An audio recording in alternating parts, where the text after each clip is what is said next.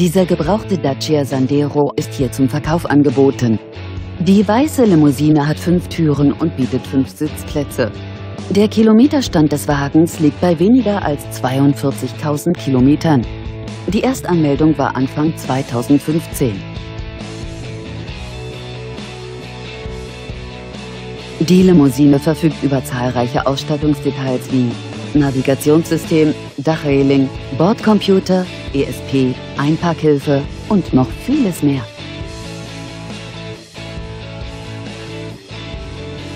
Der sparsame Benziner hat eine Leistung von 90 PS.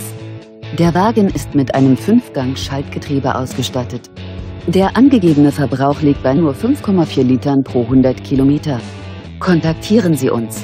Wir informieren Sie gerne näher.